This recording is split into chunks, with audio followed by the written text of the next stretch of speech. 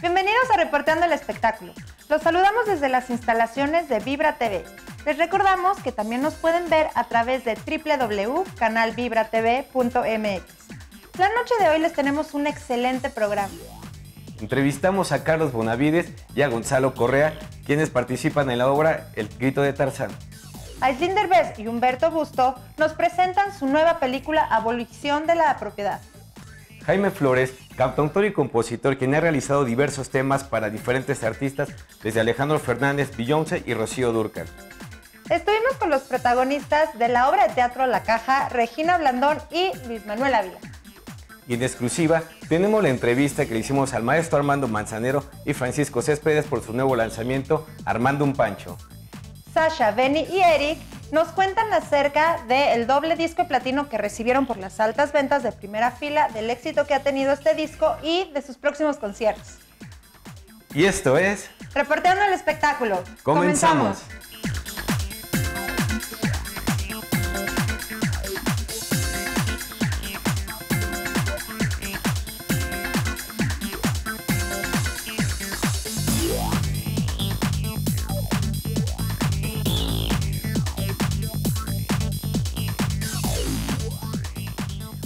Noches en casa, muchas gracias por acompañarnos la noche de hoy aquí en Reporteando el Espectáculo. El día de hoy me acompaña mi compañero Ernesto Penagos en la conducción del programa. Ernesto, ¿cómo estás?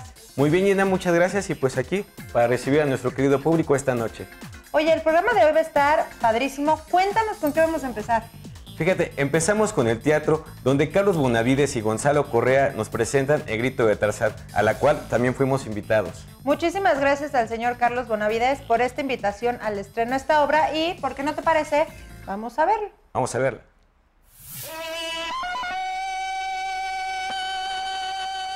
Amigos de Reporteando el Espectáculo, el día de hoy me encuentro con un gran actor al cual conozco desde muy chiquita y quiero mucho en lo personal. Carlos Bonavides, ¿cómo estás? Muchas gracias, muy contento y ya verte tan grandota, qué barbaridad. Yo sigo igual de joven. Claro, un jovenazo. Cada vez que te veo, te veo mejor. ¿Eh? Estás estrenando obra. Sí, hombre, estamos muy contentos aquí en el Poliforum, aquí en el World Trade Center. Estamos estrenando la obra El Grito de Tarzán. Es un monólogo, pero ya ves que, tú, que mucha gente dice que los monólogos son aburridos, hay alguna Sí. gente, y estamos viendo que ha habido monólogos maravillosos como el de El Cavernícola. Pero eh, nosotros hemos hecho este monólogo más entretenido y más atractivo para el público porque lo hemos enmarcado de una onda con, una onda circense. Tenemos trapecistas, tenemos eh, malabaristas, tenemos bailarines, tenemos un espectáculo de tambores. De tenemos, fuego, sí, ¿no? de También con fuego. Tenemos eh, 15 muchachos que tienen la onda del Circo Soleil y una escenografía espléndida, tenemos un vestuario espléndido, la música maravillosa y la actuación mejor. Contigo, pues cómo no, también Sí. está altern- estás alternando Con Gonzalo, Correa, Correa. precisamente este, estamos Carlos Bonavides, su servidor, y Gonzalo Correa. Es la historia de Tarzán a los 90 años, fíjate. Tú escribiste Yo esta escribí historia. el ¿Te inspiraste en alguien en especial? Sí, como no, fíjate que frente a donde vivo estaban haciendo el segundo piso, empezando las obras, y estaba un hombre en condición de calle ahí con una cas- casita de cartón y ahí preparándose algo de comer. Y como andaban reporteando, un reportero le preguntó cómo se sentía, dice, pues, ¿cómo quiere que me sienta? Pues no tengo a nadie, no tengo planes, no tengo trabajo, no, nadie me ve, mi única posibilidad es la limosna. Entonces dije, este hombre necesita ayudarlo un héroe.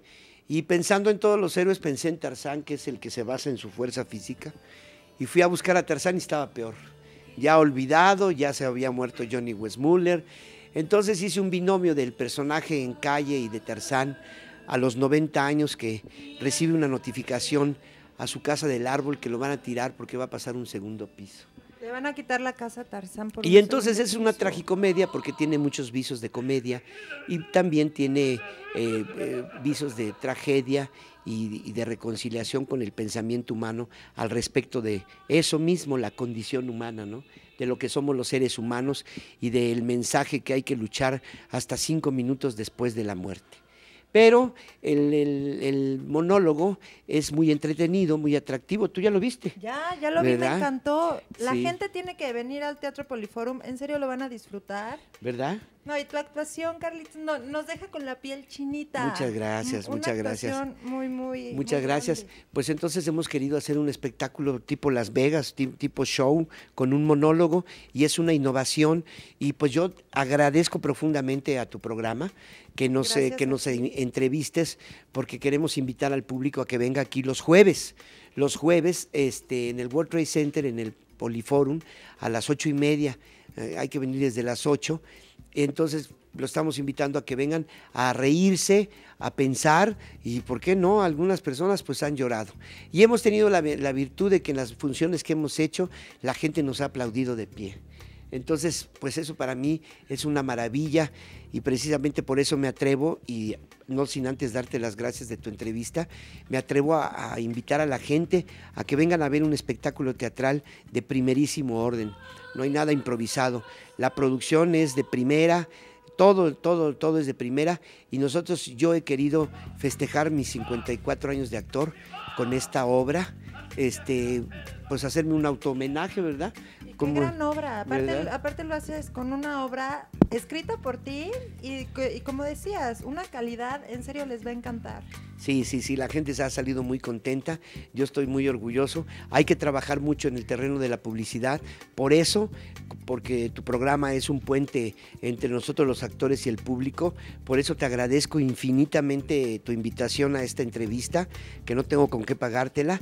Ahora que ya empieza a ganar en Tarzán, este, te invito a una comida. Ay, qué rico. No, hombre, no, para nosotros es un privilegio tenerte con nosotros la noche de hoy aquí en Reporteando el Espectáculo. Muchas Oye, gracias. Cuéntame este del grito de Tarzán. Estabas diciendo que hay acto circense con Sí, malabaristas. fíjate, Vemos tenemos- a Jane y a, A Tarzán Jane es, una española eh, que se graduó en la, en la Escuela Española de, de- Cortina y de, pues hace todas sus cosas circenses, viene de la Escuela Española y tengo el Tarzán joven, el Tarzán joven que es un muchacho que acaba de graduarse en China, viene de China. Entonces tenemos gente muy profesional, gente espectacular físicamente y no solo físicamente, sino de una, de una disposición y de un profesionalismo maravilloso. Y como te digo, también tenemos un espectáculo de tambores, de muchachos de, de lo conservatorio de, la, de música. No nada más tocan tambores así por tocar, no, tocan la nota. Te sientes, te tambor. sientes como en la jungla. Te sientes, eh, todo el ambiente es la jungla de asfalto. ¿En algún momento te has sentido identificado con este Tarzán? ¿Alguna situación que, que Sí, digas, porque "Ay, como nosotros ya somos de la cuarta edad, pues entonces este, este Tarzán debería de llamarse pena de muerte al que no llega viejo, o debería de llamarse todos somos Tarzán, porque le habla a la juventud, le habla a la madurez y le habla a la vejez, y le habla a la muerte, pero le habla a la vida, y le habla al optimismo de vivir y, y el mensaje de que nosotros debemos darle gracias a, a quien creamos nosotros, porque mucha gente, cuando dice uno Dios, eh, hay gente que no está de acuerdo, pero en quien crean tenemos que darle gracias por estar en esta piedrita tan pequeña perdida en el universo, ¿verdad? Que es la Tierra.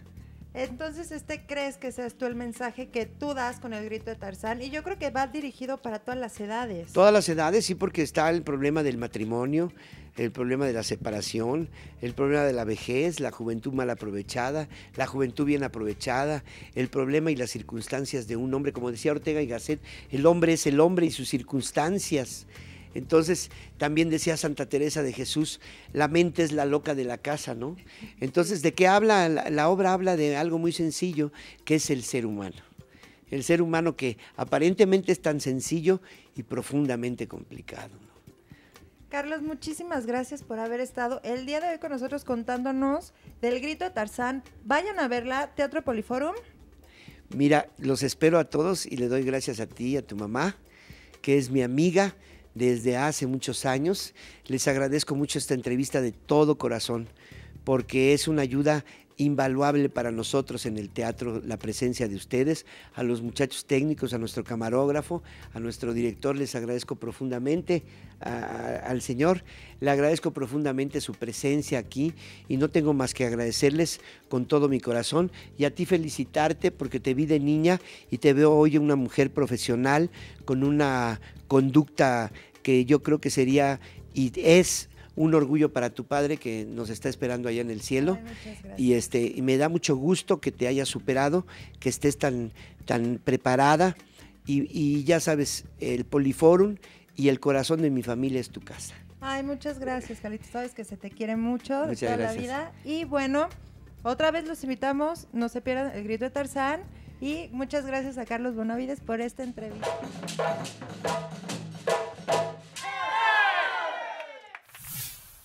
Les queremos desear todo el éxito del mundo a Carlos Bonavides y a Gonzalo Correa con el monólogo El grito de Tarzán. En lo personal me gustó mucho esta obra de teatro, la recomiendo ampliamente.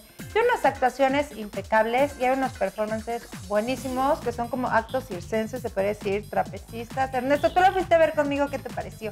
Una obra sin duda de lo más grandiosa. La verdad es que las actuaciones bastante bien hechas y pues sí, los circenses muy bien realizados todos los trucos. No se la pueden perder todos los jueves en el Teatro Poliforum. Y por cierto, queremos agradecer a Siqueiros Bohemian Bar por las facilidades para realizar esta gran entrevista. Y bueno, Ernesto, que no se muevan porque empezamos con más. Aquí en Reporteando el Espectáculo.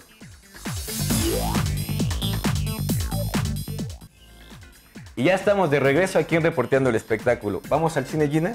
Oye, pues vamos al cine. Se acaba de estrenar Abolición de la Propiedad, la nueva película de Jesús Magaña, protagonizada por...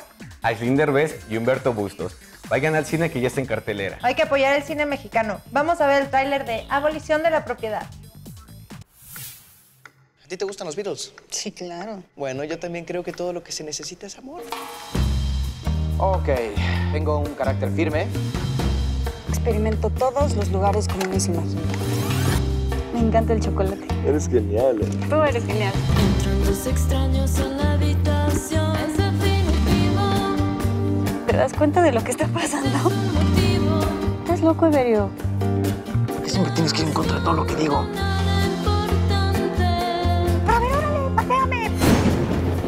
Ya estuvo bueno que te sientas lo máximo, ¿no, chiquita?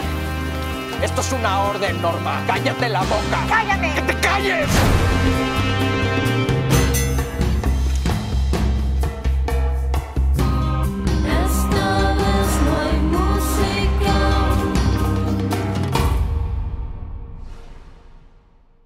¿Qué onda? ¿Cómo estás? Bien, ¿y tú? Bien también. Les cuento que Ernesto entrevistó a Jaime Flores, quien es un gran cantautor y también es el compositor responsable de muchos de los éxitos de Alejandro Fernández, Rocío Durcal, Beyoncé, entre otros. Vamos a ver qué nos dijo desde Bohemian Siqueiros Bar. Me encontré con el que te quería con el que se perdía jugando por tu piel. Me encontré con todas las heridas que estaban escondidas muy dentro de mi ser. Me encontré con la melancolía y con la cobardía por la que te dejé. Me encontré con el que es mi peor enemigo. Ese que nos separó sin compasión. Me encontré con mi dolor y mi castigo por dejarte en el olvido, por quedarme sin tu amor encontré con los recuerdos más queridos. Sin quererlo lo saqué de aquel cajón, donde guardo todo lo que fui contigo, las canciones que hoy te escribo y también mi corazón.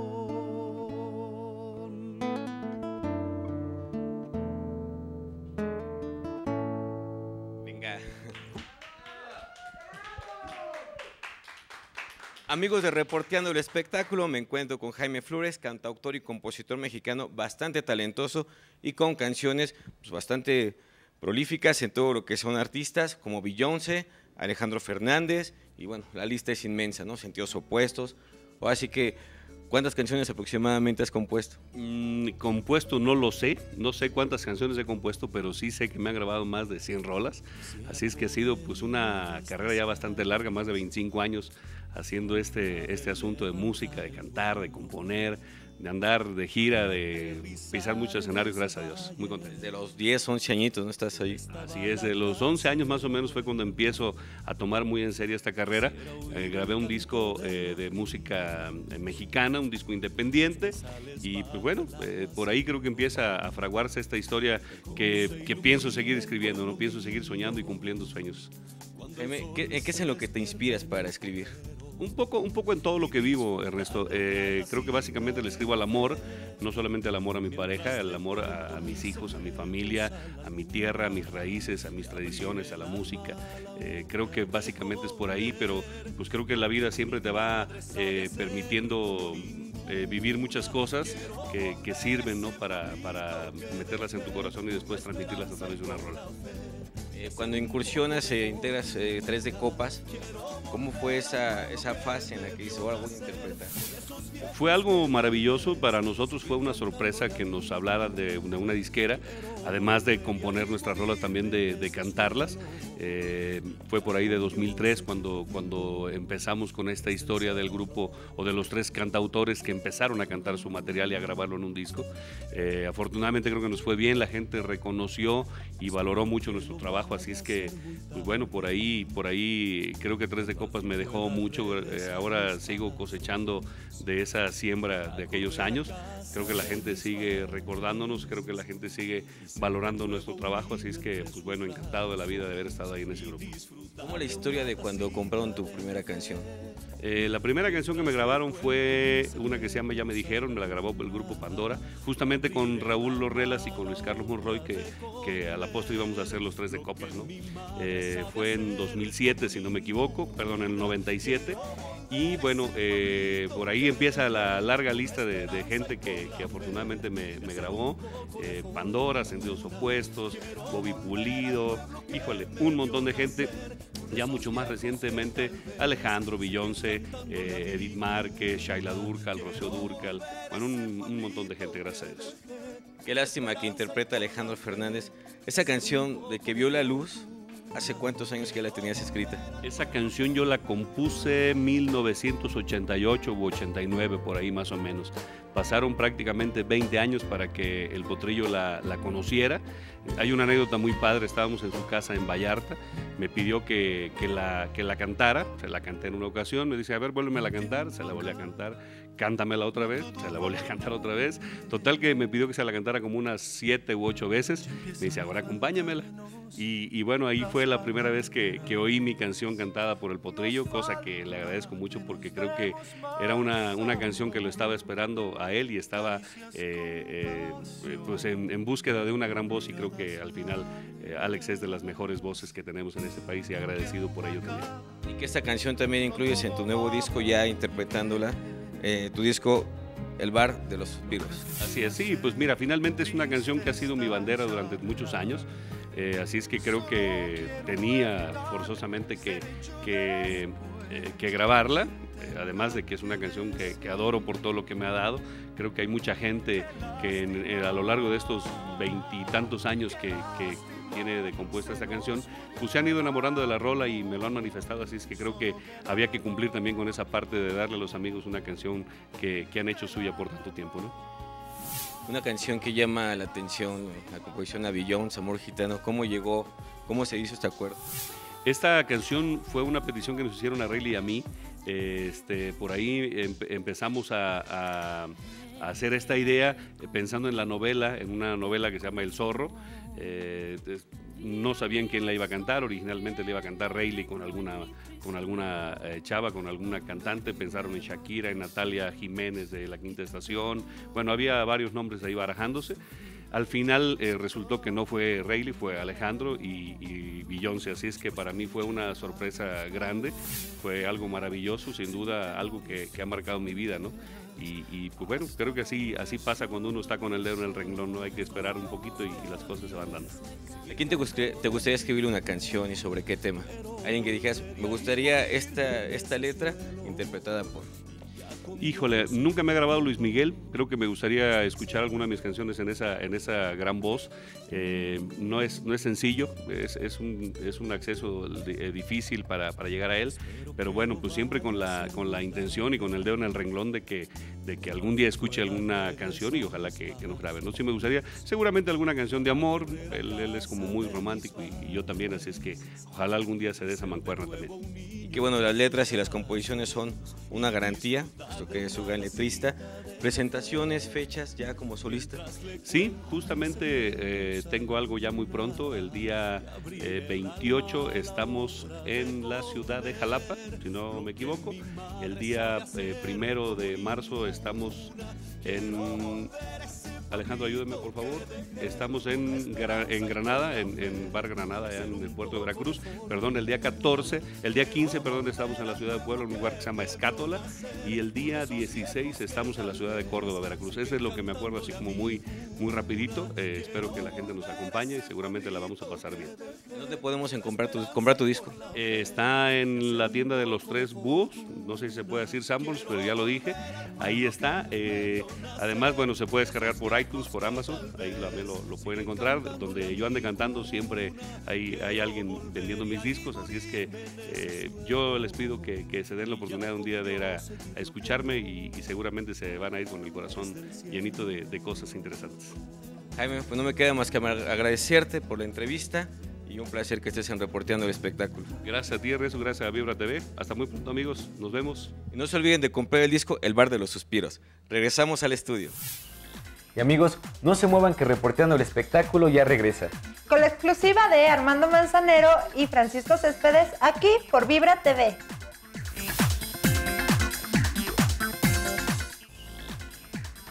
Es un verdadero lujo para Reporteando el Espectáculo el haber estado con el maestro Armando Manzanero y Francisco Céspedes en la presentación de su nuevo material discográfico Armando un Pancho. Sin duda, una gran producción musical. Vamos a verla. Amigos de Reporteando el Espectáculo, el día de hoy es un lujo tener en este programa a dos de los mejores cantautores que existen, el maestro Armando Manzanero y Francisco Céspedes. Muchas gracias por invitarnos a la presentación de su disco y aparte ahorita nos cuentan del show que traen. ¿Cómo, se encuentran? Esto no es falsa modestia, porque usted cuando dice dos de los grandes compositores, cantautores de los ¿eh? me falta un tramo muy largo por recorrer, a ver si algún día lo alcanzo o no, para llegar a donde ha llegado el maestro, porque el maestro, bueno, lo primero ya que lo hemos hablado, el maestro es mi inspiración, el maestro es mi forma de ver la composición, la canción, de una forma real, verdadera y, y una canción, como debe ser la canción. Maestro, ¿cómo surge la idea de que junten talentos para que salga Armando un Pancho? Diego, mi hijo Diego es muy amigo de Pancho desde que Pancho llegó aquí a México. Muy admirador, por supuesto, de, de Pancho. Hace muchos años nos juntamos en una producción que estábamos haciendo y fue así como yo empiezo a conocer el material de él. Y cuando Pancho empieza a dar sus primeros éxitos fuertes, pues a mí me gusta, me gusta la idea de un día poder estar juntos. Aparte, en este disco, las canciones compuestas y, e interpretadas por el maestro Manzanero, la- las canta Pancho y las de Pancho las canta el maestro Manzanero. ¿Cómo se les ocurrió seleccionar los temas? ¿Cómo estuvo todo esto? Como dijo el presidente, y todo lo contrario. pues bueno, esto se da, y hemos hablado de esto. Ah, perdón. No, usted, usted, con esa mano divina. El maestro lo dijo, se dio muy fácil. Después de, este, de, de esta parte de la historia, de cómo nos conocemos, esta admiración, yo me crié y me sigo criando con la canción de él. Pues esto se da muy bien, se da fácil. Un día estábamos yo, estaba recordando ese hecho, que eso es por decir uno siempre que uno necesita una historia, ¿no? Porque eso si estamos hablando desde que yo nací, o sea, desde que yo soy muchacho, que escucho la canción, me encuentro con la canción de, de Manzanero, pues ya, ya eso estaba dado, ya estaba escrito que íbamos a hacer algo juntos. Porque eso lo escribió no uno que está ahí arriba. Para mí está, no está ahí arriba, para mí está en todas las cosas, se llama Dios. Eso lo había escrito.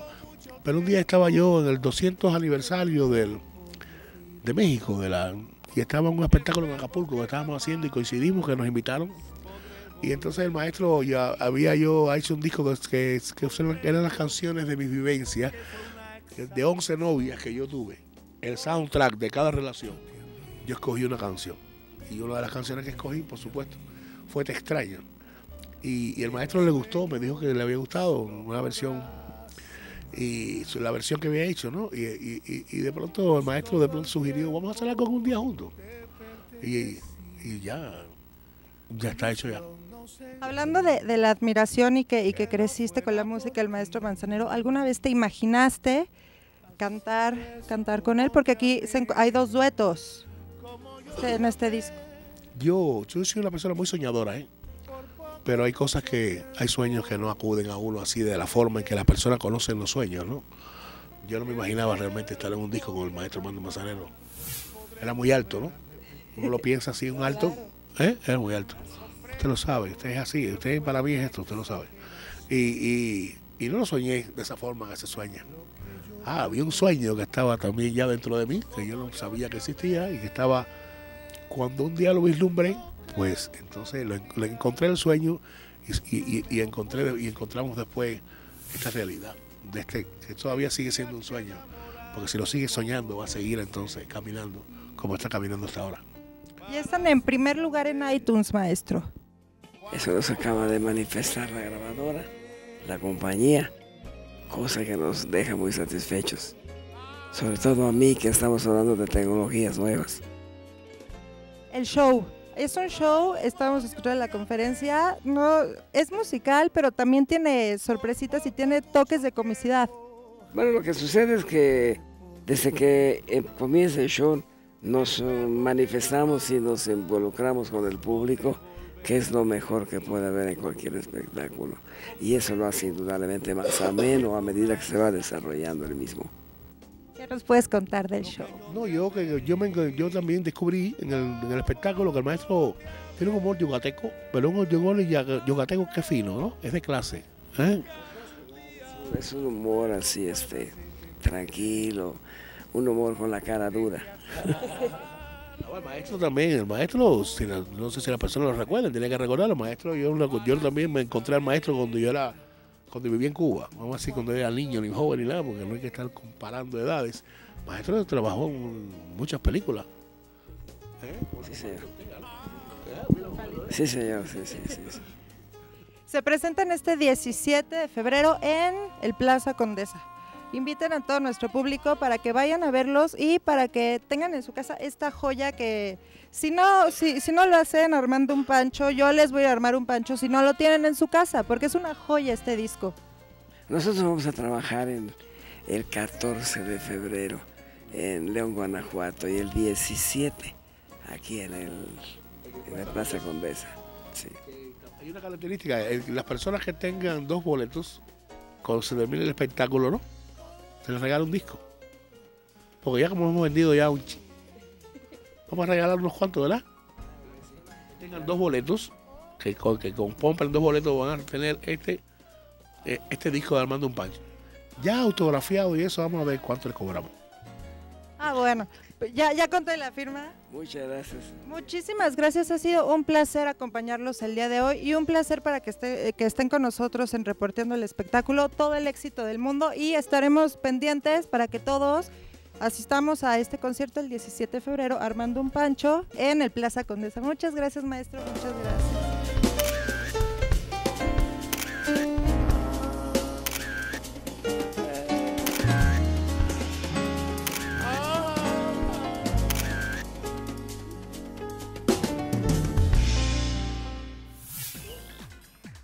Muchas gracias al maestro Armando Manzanero y a Francisco Céspedes por darnos esta entrevista aquí en Reporteando el Espectáculo.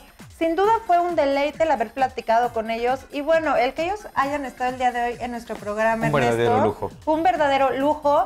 Por favor, Armando un Pancho, no, lo tienen que ir a comprar ya. Ya, ya está a la venta y el 17 de febrero se van a presentar en el Plaza Condesa. No se los pierdan. Es una joya musical que todos deben de tener en casa. Y vamos a unos comerciales rapidísimo. Vamos a unos comerciales aquí en Reporteando el Espectáculo. Regresamos.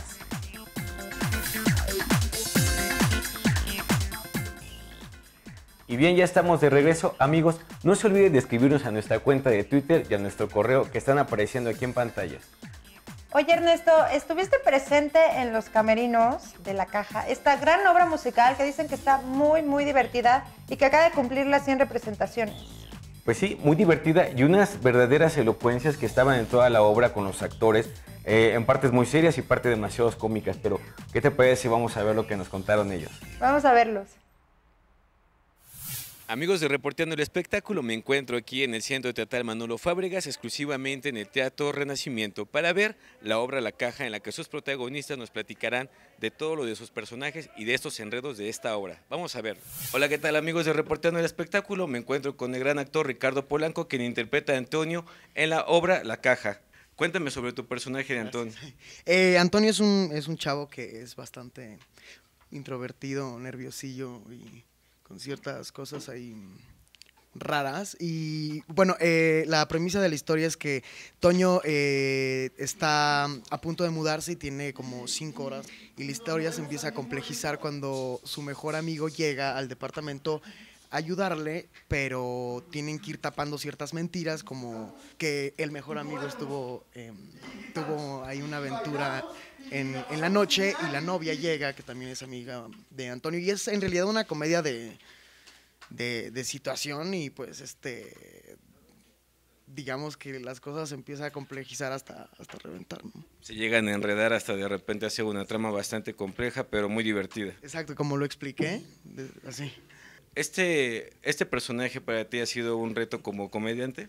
Eh, sí, pues como, como actor, creo que cualquier personaje que, que hagas como actor, ya sea comedia o drama, tienes que abordar con la misma verdad que, que abordas cualquier personaje, y tanto físicamente como emocionalmente, creo que es un personaje que, que me desgasta mucho y pues sí, sí ha sido un reto. Ok, a modo de reflexión, si tú tuvieras que llevarte una caja ya en tu vida personal, ¿qué es lo que contendría esa caja? Condones, no, este, este, una, eh, no sé, em, a, a mi compañero Alejandro Durán, no, si tuviera que llevarme una caja, este, pues supongo que, que la Biblia, no, no es cierto, este, no, pues no sé, no sé, yo creo que es una decisión ahí bastante, ¿No cabrían todas las cosas en una sola caja? pues no, soy muy materialista, no, no es cierto, este, Mi sala principalmente. mis- no, pues no, no tengo idea, algún libro, supongo, em, Tus discos, tus libros. mi iPhone, eso, mi celular. Y bien, ahora me encuentro con la talentosísima y guapísima Regina Blandón, quien interpreta el personaje de Marina. ¿Qué tal, Regina? ¿Cómo estamos? Muy bien, muy contenta de que estén aquí. Muchas gracias por lo talentosísima y guapísima. No, pues sí, dos características que sin No, duda. Bueno, no, gracias. Me chiveo. No, oye, ¿qué nos puedes platicar de tu personaje? Pues Marina es una chava muy normal, ahora sí. Este va a universidad y todo, y tiene un novio que la trata muy mal, que no le ha hablado en toda la noche. Antonio nos habla a todos sus amigos para que lo ayudemos a mudarse, que tiene poquito tiempo para mudarse. Y entonces em, vamos al departamento y mi novio llega 10 minutos antes que yo, entonces cuando yo llego se tiene que esconder y Antonio, que es Ricardo Polanco, el dueño del departamento, tiene que empezar a decir 300 mil mentiras para cubrir, para cubrirlo, ¿no? Para cubrir a su amigo, entonces de ahí se empiezan a, a enredar las cosas y en vez de ayudarlo con la mudanza lo complicamos todo, ¿no? ¿Cómo ha sido tu regreso al teatro mexicano después de estar largo tiempo en televisión y ahorita empezar a hacer una comedia?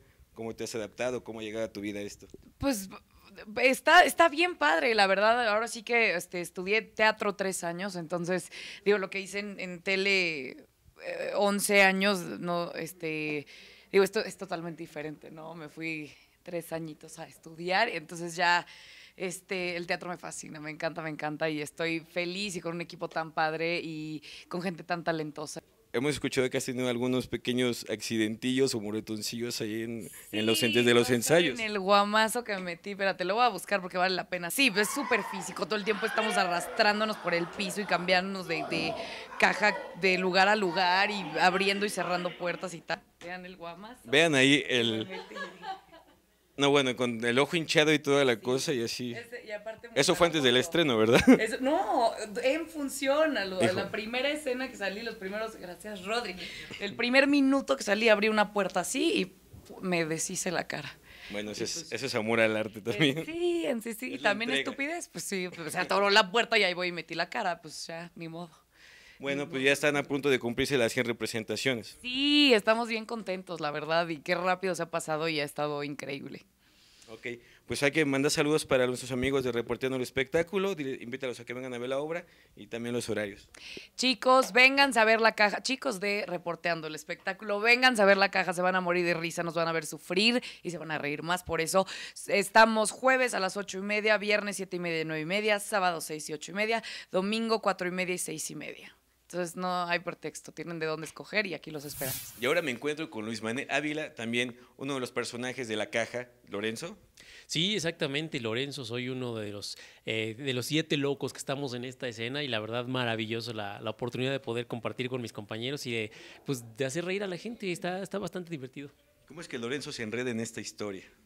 Pues es uno de los eh, amigos que ha tenido el personaje principal, que es Toño, eh, y le pide aquí que, que lo ayude, pero Lorenzo tiene muchas ocupaciones y por eso llega casi ya cuando está bastante avanzado lo de la mudanza, eh, pero se supone que es un grupo de amigos de hace muchísimos años y ahorita vamos a ver nada más un pequeño fragmento en la vida de estos cuates. Ahora, estos enredos que se dan generalmente cotidianos, eh, cuando se hace una red de mentiras, ¿una mentira lleva a otra? Esa es la idea. Entonces, en la vida debe ser muy complicado esa parte, porque pues cómo te sales. Pero eh, en la cuestión de la comedia, de, de la, de la escena, es maravilloso porque el público está enterado de muchas cosas que los personajes no, y es cuando te diviertes más.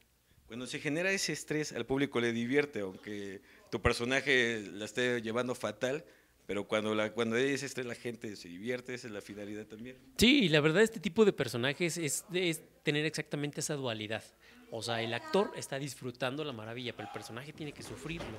Entonces, normalmente esa es como una cuestión, decíamos que muy de mexicanos, pero la verdad es humano. Lo que más nos divierte es cuando, alguien se cae, ¿no? Que se cae la viejita, humana. claro, si se cae la viejita, dices, puta, pero te ríes. Entonces, aunque no quieras, esa es la parte que venimos como, como a ver y a disfrutar de los personajes. Y lo, lo rico es que es una ficción, entonces no existe y no hacemos daño a nadie. ¿Cómo va tu proyecto de cantante? Bastante bien. Eh, la cuestión de los Luises eh, la comenzamos ya hace, pues ya estamos entrando al tercer año. Es el segundo disco que sacamos, el disco El Riesgo. Eh, la, canción de Amigos ya no, nuestro primer sencillo bastante buena y ahorita ya vamos a empezar el segundo sencillo que se llama Llora Llora, que ya pronto les, les daremos más información, pero va bastante bien. ¿Qué te llevarías en una caja? Pues yo creo que me llevaría una plantita y este y pues ya me enamoré del, del iPad, la neta, me encanta. yo creo que me llevaría Aunque eso. esos vienen en cajas más compactas, ¿cómo has ido minimizando la vida un poco? Sí, no? pero me encanta la verdad cómo puedes ahí leer tus cosas aparte de jugar, estar comunicado. Este, yo creo que me llevaría un aparatito nada más de esos, una planta y, y agüita para regar la planta. Ok, muy bien. Ahora invita a nuestros amigos a que vengan a ver la caja.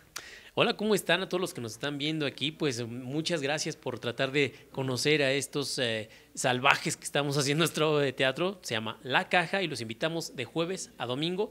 Estamos aquí y por favor, vénganse a disfrutar, vénganse a olvidarse durante hora y media de las cuestiones que están allá afuera y a divertirse con nosotros aquí en La Caja. Regresamos al estudio con Gina. Ah, córrele, vámonos. Bueno, y a todo esto, Gina, ¿qué es lo que tú te llevarías en una caja? ¿Qué me puedo llevar? Pero ¿qué tipo de cosas? Todo, todo lo que yo quiera. Desde materiales, recuerdos y sentimientos. Yo creo que me llevaría mi celular, mi iPod, porque me encanta escuchar música a todas horas. También me llevaría una foto de mis papás. Y a mi perro Nicolás, que lo amo y lo adoro. A ver si cabe todo. Sí, yo creo que sí cabe todo una sí cabe, caja. sí cabe, Nico. ¿Tú qué te llevarías? Am, yo creo que con el iPad tengo suficiente, tengo todo. Ahí todo. Y bien amigos, no se muevan que regresamos aquí reporteando el espectáculo. Por Vibra TV. Si quieres disfrutar de una cena deliciosa y de un ambiente bohemio, Siqueiros Bohemian Bar es el lugar ideal para ti. Este lugar es conocido como la Catedral de Luis Carreño, ya que todas las caricaturas que encontramos aquí de grandes personalidades están hechas por él. Una de las personalidades que más frecuenta Siqueiros Bohemian Bar es Gabriel García Márquez, quien lo ha bautizado como el cielo de García Márquez. También puedes disfrutar de una noche bohemia junto a grandes cantantes. Te esperamos aquí en Siqueiros Bohemian Bar.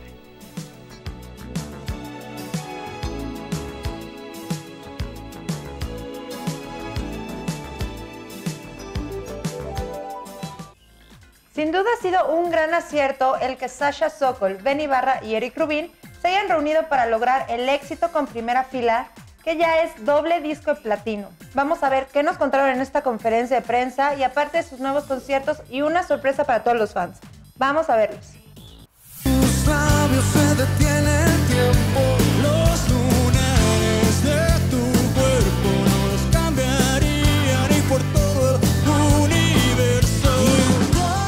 Nos sentimos emocionados, afortunados eh, de poder tener este disco, de, tener un proyecto con tanta estrella, de tener un proyecto en el que se han sumado tantos personajes, empezando por Seitra, Cosesa, Sony, eh, y luego los músicos, los productores, eh, y finalmente ustedes que han sido el vínculo entre nosotros y el público, y les agradecemos enormemente su presencia una vez más a una rueda de prensa eh, para poder platicar sobre los planes que, tiene este 2013 y para, y para servir de puente, para comunicar nuestro agradecimiento a todo el público que ha creído en este proyecto.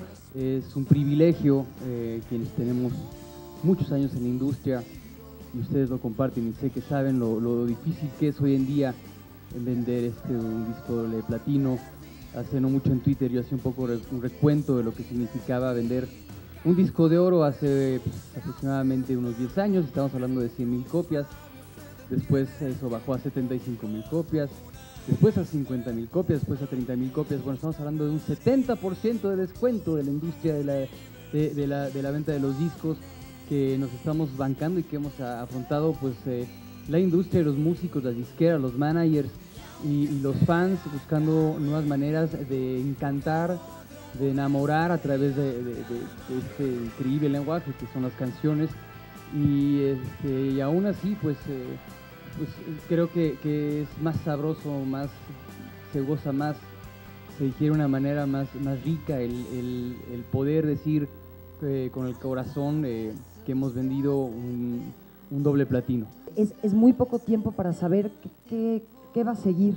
Eh, lo que sí sabemos es que todo el 2013 vamos a estar girando juntos, eh, disfrutando de, este disco que al haber sido grabado de una forma en vivo, en un concierto, pues su, naturaleza y lo más orgánico es sacarlo a pasear, hacer esta gira. Entonces el 2013 estaremos en esto y quién sabe qué, qué nos depare el 2014. No sé si, si al terminar este año de pronto todos nos prendamos y sintamos que es un buen proyecto eh, eh, hacer un primera fila 2 o un segunda fila o hacer algo inédito o cada quien seguir con sus carreras y sabemos que nos encontraremos en el futuro de alguna manera, porque si llevamos 30 años coincidiendo sería muy raro pensar que en el futuro dejaríamos de hacerlo. Eh, y sin embargo, bueno, salir al mercado de Estados Unidos es siempre un gran reto, Centro Sudamérica obviamente, ¿no? Eh, y es algo que nos, nos encantaría hacer, lo hemos hecho eh, a través de nuestras giras, eh, con proyectos en conjunto y también por separado, entonces sentimos que definitivamente se está armando como el, todos los elementos necesarios y, de apoyo y, creemos, obviamente hay mucha gente vía redes sociales que nos, nos pide estar por allá y pues felices de, de ir a pasear esta primera fila por, por otros países. eh, en, en este momento no, no, no hemos ni siquiera empezado a pensar cuál es el siguiente paso. Creo que los tres tenemos esa enorme capacidad eh, como, de, como de estar en el aquí y en el ahora. Y es tan grande todo lo que nos está sucediendo y estamos tan divertidos y hay tantas cosas por hacer porque no somos del tipo de artista que nada más se sube a cantar, como que nos interesan todas las áreas, todos los aspectos de lo que estamos haciendo. Entonces, más allá de lo que ustedes ven, hay muchas horas y mucho tiempo invertido en, en dónde va el foco, en dónde está la escenografía, qué músico toca qué, cuál es la voz tal, y todo eso pues consume nuestro tiempo. Eh, aquí tenemos la, oportunidad de cantar eh, otras canciones. Eh, tenemos un tributo a una banda muy importante de los noventas. Eh, tenemos canciones eh, otras canciones de, nuestro repertorio como solistas. Hay muchas sorpresas. Este, ahorita se ha estado muy, muy aplicada en lo que va a ser eh, el, show, el espectáculo, las pantallas. Hasta vamos a bailar, ¿verdad? Eh, yo creo que, que en el otro sentido también tienes mucha razón. Yo creo que esto sí es un, una cereza del pastel, un reconocimiento a, a muchos años de complicidad, de mucha búsqueda. Escogimos las canciones eh, eh, más eh, representativas de, nuestras, de nuestro repertorio como solistas. Pod- Podríamos decirles las más comerciales, más exitosas también. Pero también hay mucha apuesta en este disco y no hemos dejado ese espíritu de lado. Salimos con Cada Beso, un tema de Eric Rubin, que tuvo mucho éxito y que nadie conocía. Salimos al mercado con un disco lleno de éxitos y escogimos salir con algo completamente eh, nuevo y de esa manera amalgamar un sonido, un lenguaje, una manera de cantar este, y abanderar este nuevo proyecto. Ha habido mucho trabajo detrás de- del disco. El disco se grabó en vivo, hubo una grabación, no había varios días, no había, era ese día, ese momento. Pero para poder llegar ahí hubo mucho ensayo detrás, hubo mucho trabajo. Y la verdad es que yo me siento tan afortunada de estar, además de con estos dos grandes amigos, con estos dos grandes monstruos de la música, ¿ves? Porque me ayudan a crecer, me muestran mis debilidades con una enorme gentileza y amor y al mismo tiempo me arropan y me, me, llevan a crecer. ¿no?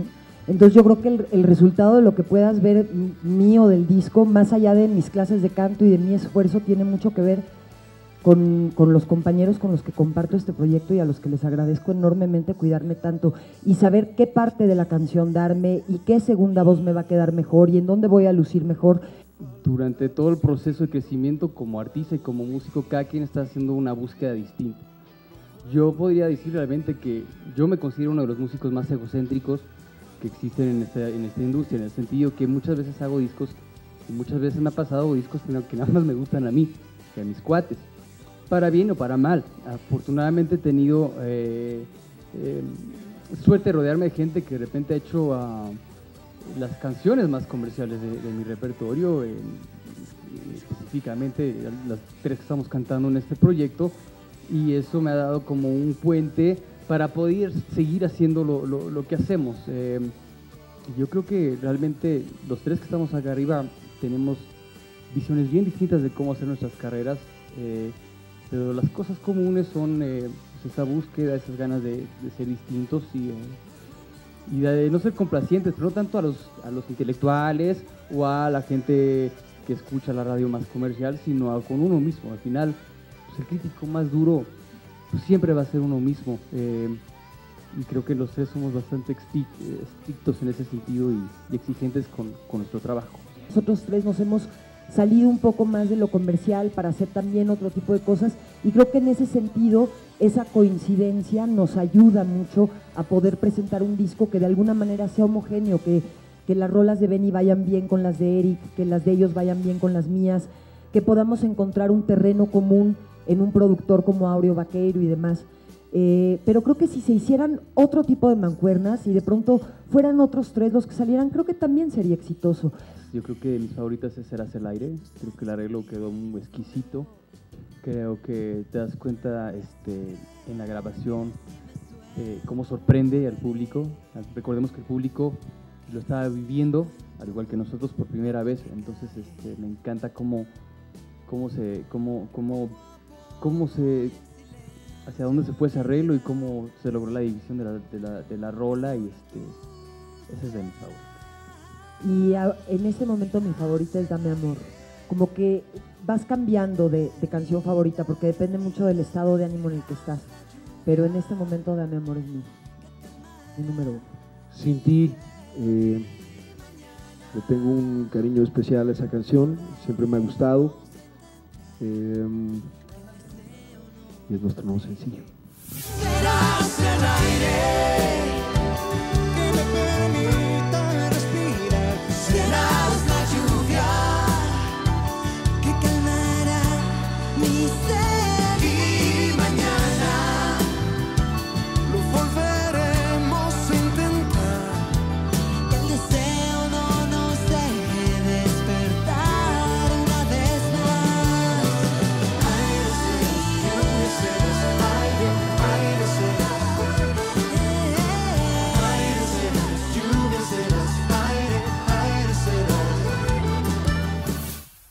Gina, ¿cuál sería tu canción favorita de Mi canción favorita de este disco de primera fila, me quedo con Tonto Corazón y Serás el Aire. Yo creo que, híjole, me encantan esas canciones. Las escucho y las escucho y las escucho. ¿Tú?